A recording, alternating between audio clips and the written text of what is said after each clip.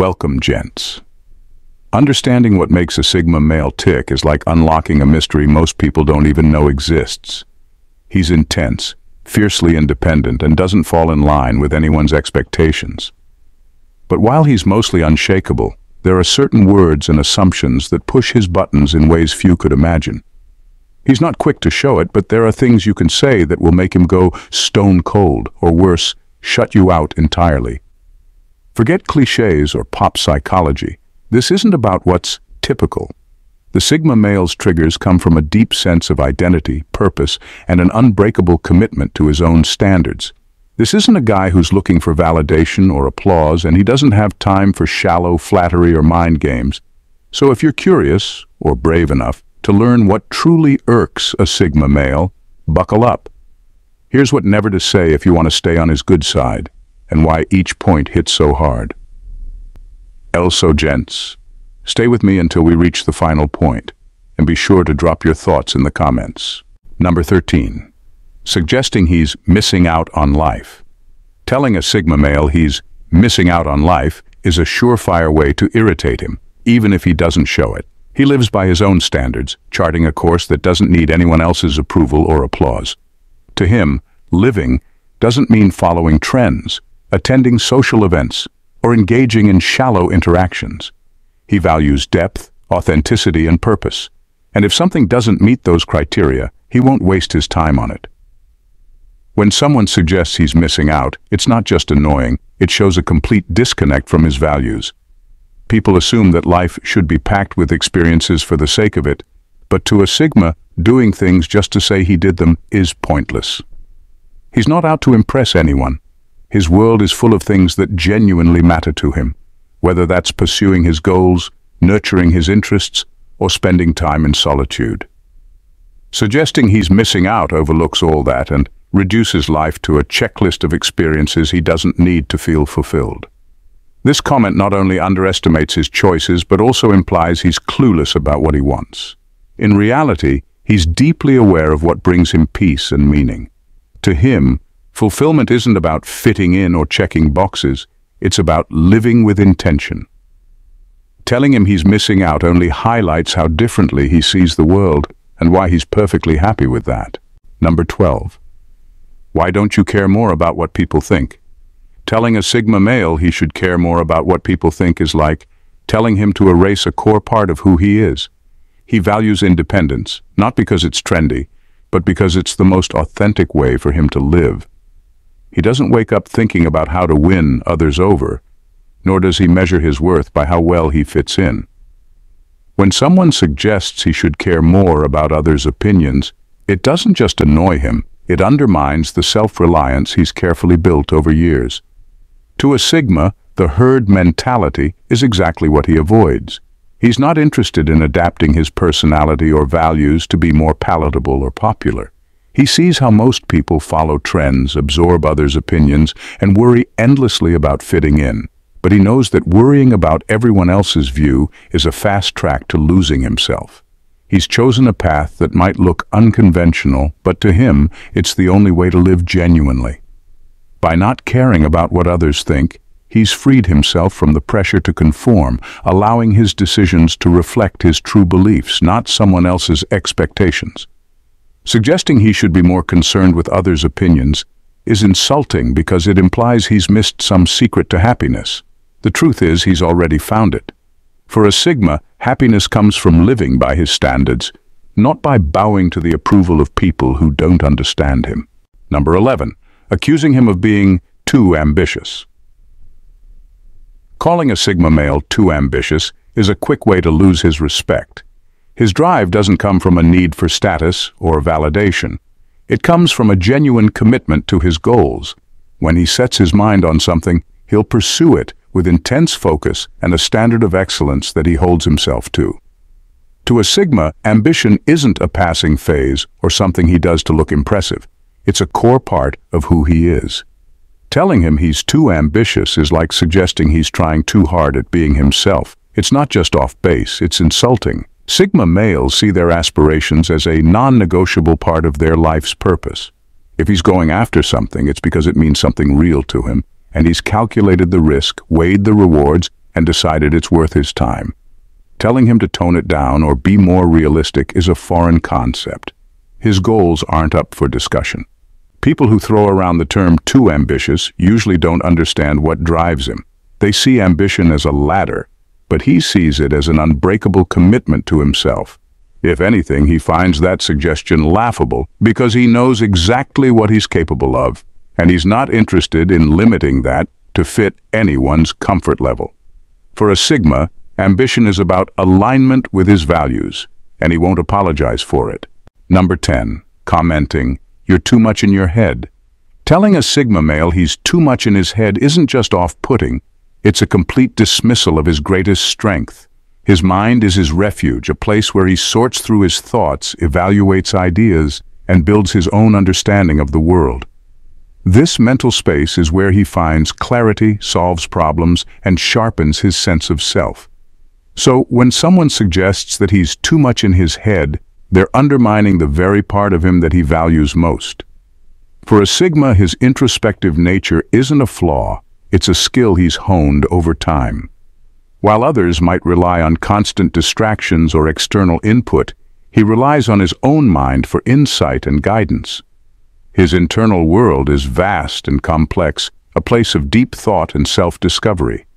By implying he should snap out of it or spend less time thinking, others show a shallow understanding of what makes him who he is.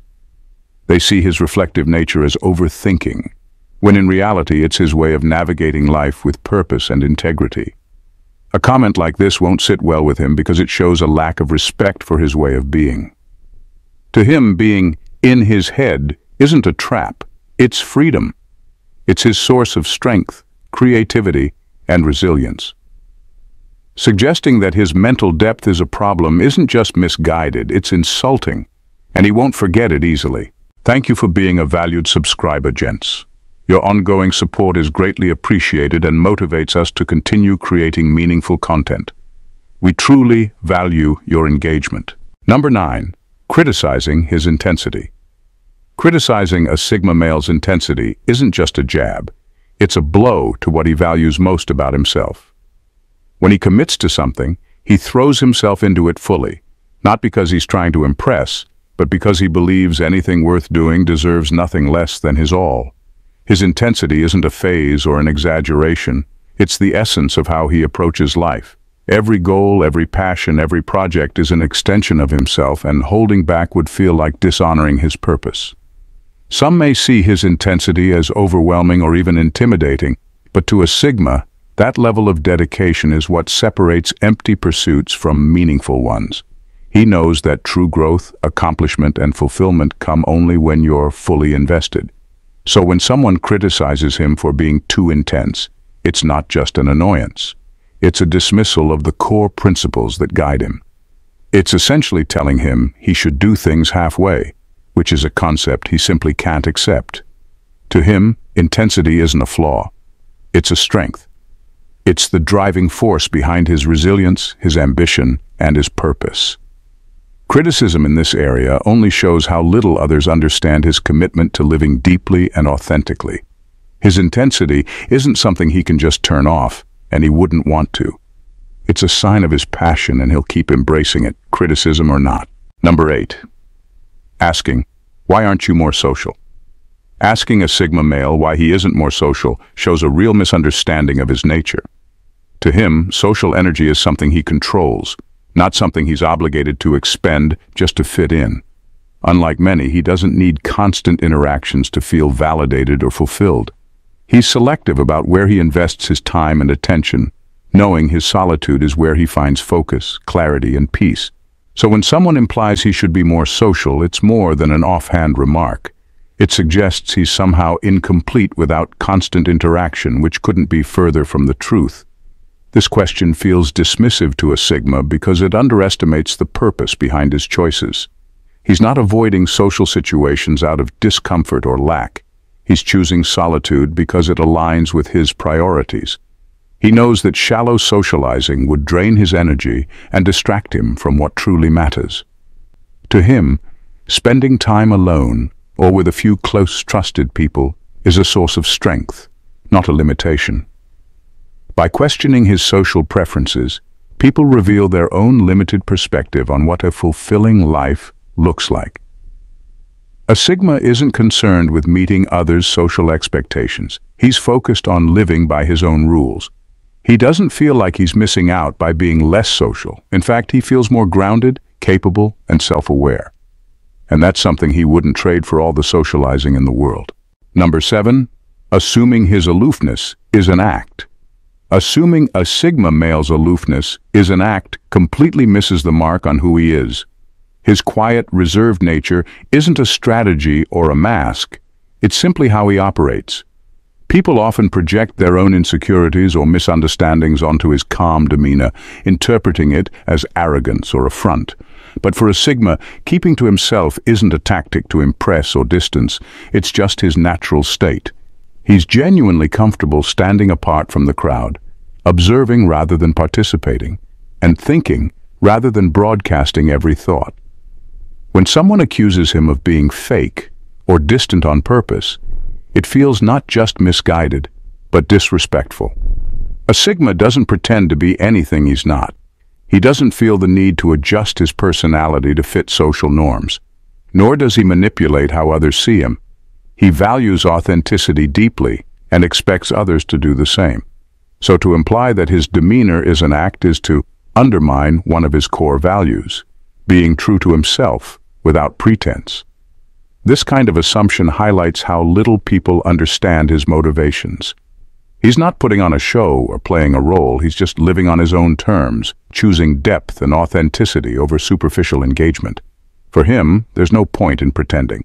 If he's reserved, it's because he genuinely values his inner world and sees no need to perform for anyone. Number six, you should smile more. Telling a Sigma male to smile more might seem harmless, but to him it's anything but. He values authenticity and his emotions aren't for display. They're personal, intentional, and genuine. When someone suggests he should smile more, it's as though they're asking him to put on a mask just to make others feel more comfortable. To a Sigma, that's more than annoying. It's offensive. It implies his natural state isn't enough, that he should adjust his demeanor to fit a more socially acceptable mold, which goes against everything he stands for. For a Sigma, a smile is something real, not a social obligation. He's not interested in plastering on expressions to appease expectations or to appear more approachable.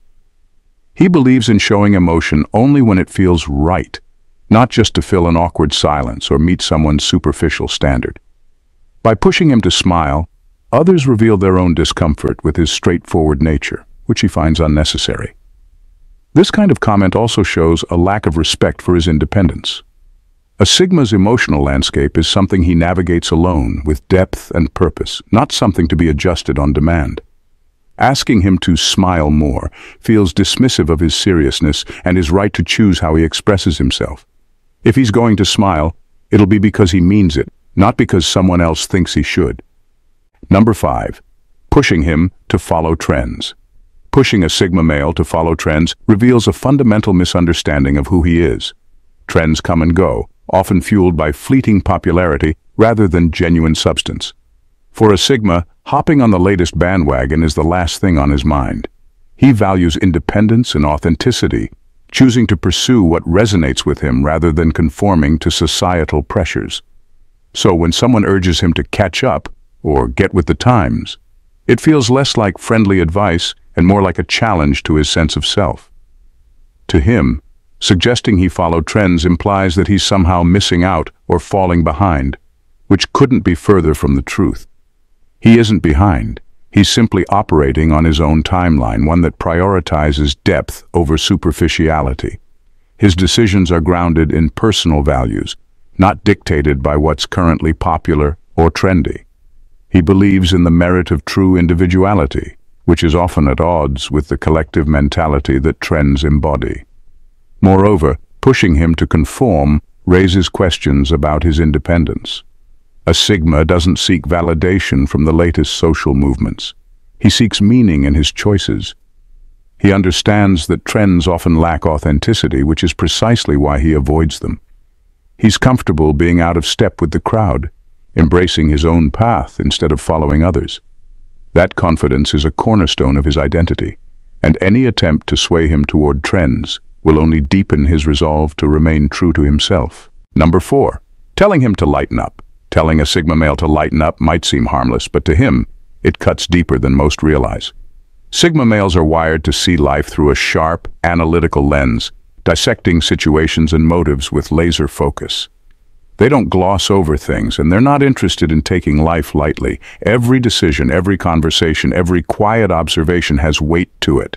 They've built a life around their need to understand things on a level most people overlook.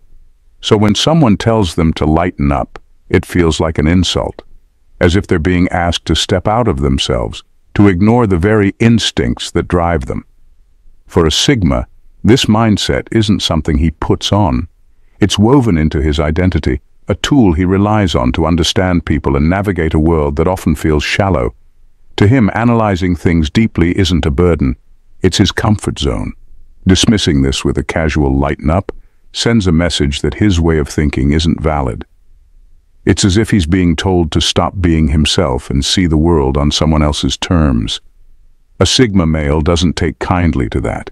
He sees this as someone trying to put him in a box, trying to reshape his perspective, and that's a boundary he doesn't let anyone cross. For him, his focus isn't something to lighten, it's a skill, a strength, and a way of life. Number three, questioning his solitude as a weakness. Suggesting that a Sigma male solitude might be a sign of weakness or loneliness is a complete misread of who he is. For him, solitude isn't something he settles for. It's something he values and seeks out. He chooses to step away from the noise, not because he's struggling to fit in, but because he thrives when he has time to reflect, think deeply, and engage with his own thoughts. Solitude is his peace, his recharging space, and a realm where he gains clarity. To him, solitude is empowering, a deliberate decision that lets him stay true to himself. When someone asks if he's lonely or hints that he should get out more, they miss the point entirely. A Sigma male sees this as an oversimplified view of what it means to be alone. Unlike those who find fulfillment in constant social interactions, he doesn't need external validation to feel complete. He's confident in his own company and finds strength in relying on himself for perspective and purpose. This choice to embrace solitude is a testament to his independence, not a cry for help or a sign he's missing out. Questioning his solitude not only underestimates his self-sufficiency but implies he's somehow incomplete without the crowd. In reality, his ability to be alone is a source of unmatched resilience and self-assuredness. He doesn't need the approval of others to feel fulfilled, and solitude is simply another facet of his freedom. Amber 2. Assuming his aloofness is an act.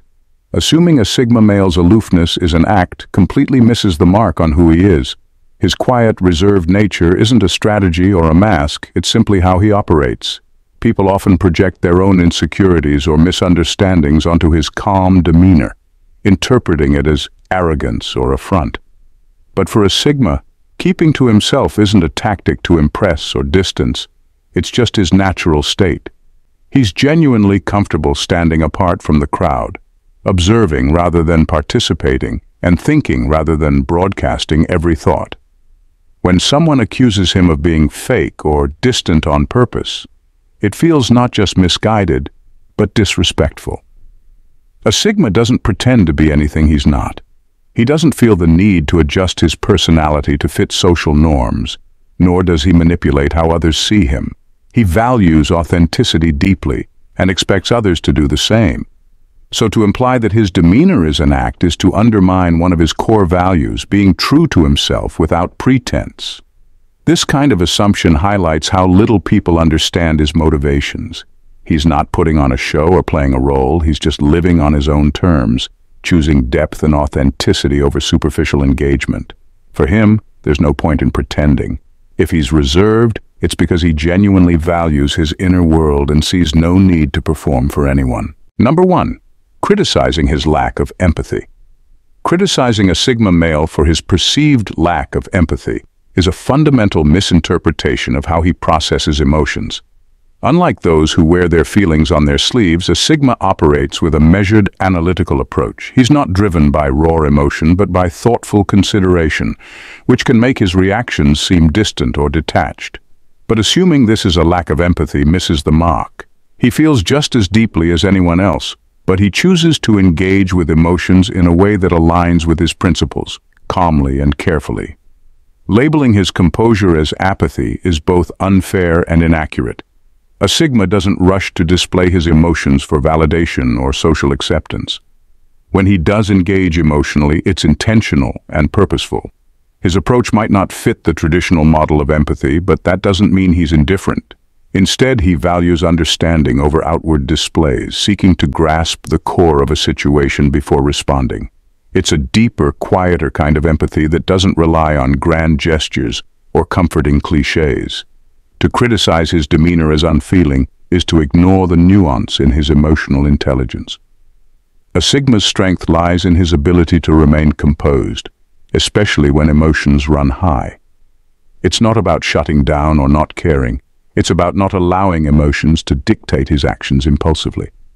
His empathy is there, but it's expressed through thoughtful actions, not surface-level reactions, which many overlook or misinterpret. Understanding what triggers a Sigma male requires stepping away from assumptions and seeing the world through his unique perspective. He's not interested in following the crowd or bending to social norms. His independence is deeply ingrained, and any attempt to undermine that will be met with quiet resistance or outright dismissal. What others might see as quirks or stubbornness, he views as the core of his identity. His detachment isn't aloofness, and his intensity isn't overkill. They're reflections of his commitment to living life on his own terms. Telling him to change, soften, or conform is like telling him to compromise what makes him who he is. He's not out to impress or to be understood by everyone, and he certainly doesn't need approval to validate his choices.